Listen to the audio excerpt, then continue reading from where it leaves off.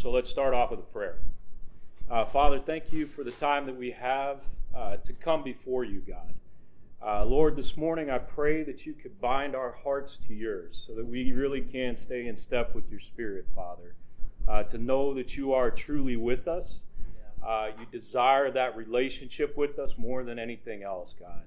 I pray that those of us that are uh, heartbroken and grieving, that you would heal us, heal our hearts, Father, and uh, and truly make us, giving us the capacity to love more.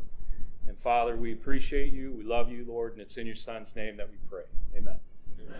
All right, so uh, unfortunately, a quick recap is we started off with grief, right? Yep. We understand what grief is at this point. Uh, it's basically heartbreak over unfinished relationships and communication that we didn't have uh, with the person that we really wanted it to be with. Um, some of the tools that we talked about were loss history graph, relationship graph, and now that final thing about completion, about trying to complete this relationship, is what I call a, uh, they call it a grief letter in the grief recovery class that I do. Um, today it's called My Final Letter to My Father. Okay? Uh, from my loss history graph, he passed away 2018. Um, kind of laid all those things out for you, and then I picked that relationship to do all this type of work with it, to really begin to examine uh, my heartbreak towards him, the relationship that wasn't completed with him. Um, and that's the goal is to get to this completeness.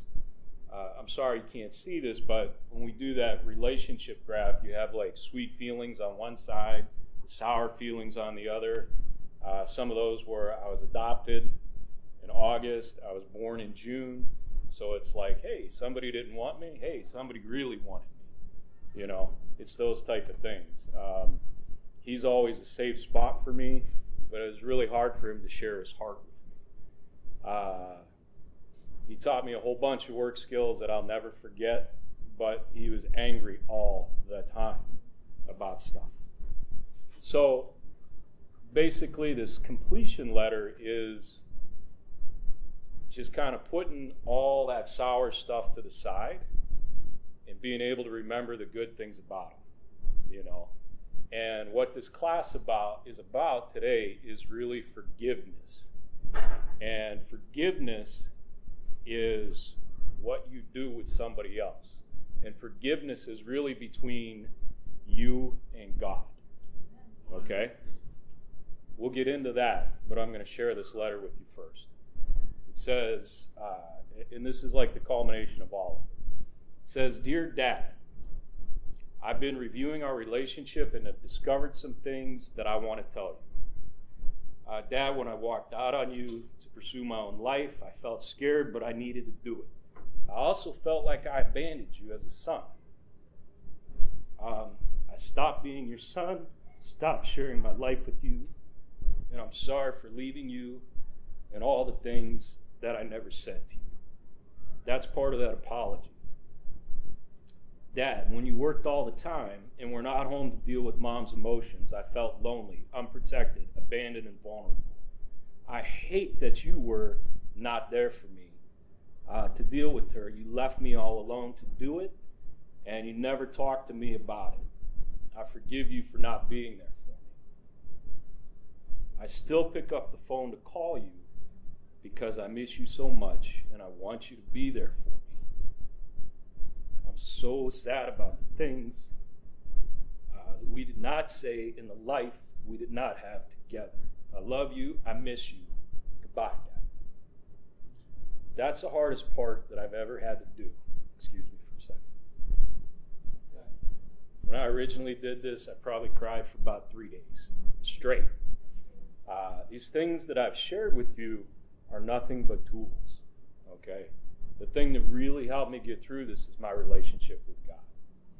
And it's being able to forgive my dad for the things like I'm sorry that this letter won't make sense to you in a lot of ways, but it means everything to me. Um, it allowed me to just stop being mad at him.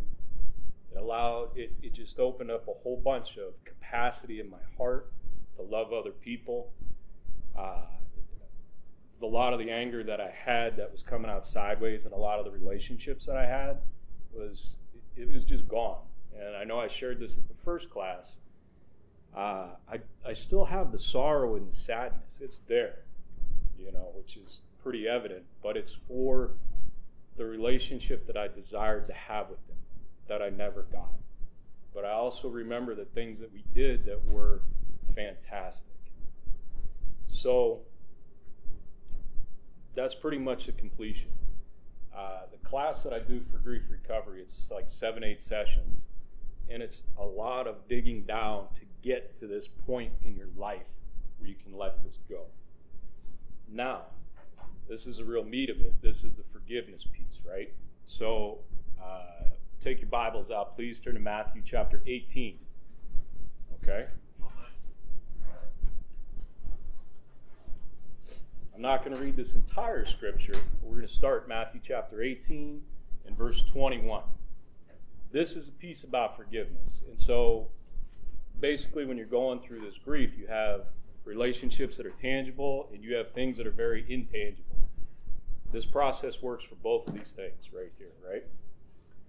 So, this is a parable of the unmerciful servant, but it starts out in verse 21. Uh, then Peter came to Jesus and he asked, Lord, how many times shall I forgive my brother or sister who sins against me? Up to seven times?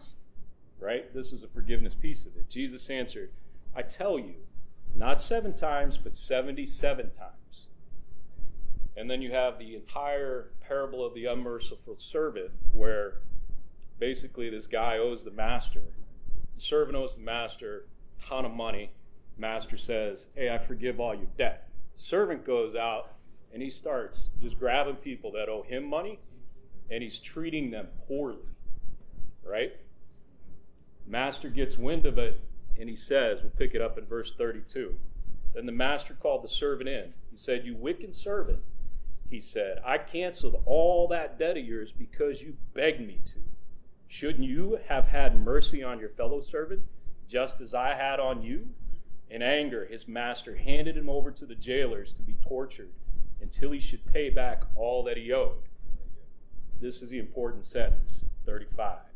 This is how my heavenly Father will treat each of you unless you forgive your brother or sister from your heart. All right? Forgiveness, like I said before, is between you and God. But forgiveness is not condoning what somebody does to you. It's not forgetting what somebody did to you. It's basically you no longer holding it against them. All right? That's the peace that's between you and God right there. Because there's stuff that has happened to this people that have happened to you in this room that is unimaginable. I understand that. I don't fully get what you went through, but it's hard, it's challenging. And the thing is, a lot of times what we desire to do is hang on to. it. We want people to recognize how badly they've hurt us, right? You want them to see it before you can actually forgive them. That's just not the case biblically. It's not letting them off the hook, but it's not the case biblically. Uh, 1 Peter chapter 2 says, when they heard their insults at him, this is Jesus he did not retaliate. He suffered. He made no threats. Instead, he entrusted himself to him who judges justly. Right? Jesus gave himself over to God. And that's where this entire thing lies really with God. Okay? Now, here's the really, really, really hard part about. You need to begin, when I say you, I mean all of us in this room we need to begin to take responsibility for our response to the losses in our life because stuff happens to us all the time. Okay? People are going to sin against you all the time. These things happen. All right? So, what does that mean for you? Okay? It means that nobody can make you feel a certain way. The way you feel is by your choice. Hard to accept that. But the thing you can do is take responsibility for it, and then you can take steps to pretty much let this stuff go. And as we were talking about all those different things, you know, like your loss history graph, your relationship graph, your closing letter, that allows you to let that stuff go. One thing I do want to remind you of is you're not responsible for what someone does to you. That's an action, it happens. They did it to you, right? Okay? But how you feel is your choice, and nobody makes you feel a certain way. I really want you guys to understand that and remember it, and just kind of hold on to that. Because if you go back to this first Peter scripture, it's like everybody's hurling insults at the Son of God. He's like, hey, I entrust myself to the Lord. That's how these, it's just unfortunate, but that's how these things go. You know, and as you looked at the lost history of my life from a couple classes ago, it's like a house gets hit by a tornado. My whole family's dead except for the people that I know. You know, myself, my wife, my kids. Everybody else on my dad's side of the family is gone, and I have one aunt left, and that's it. Um, so turn over to Luke 23, verse 33. My grief stems from that, but it's very, very, very common.